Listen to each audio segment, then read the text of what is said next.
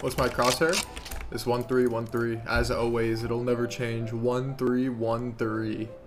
Okay, maybe it'll change, but I like it. Cyan color.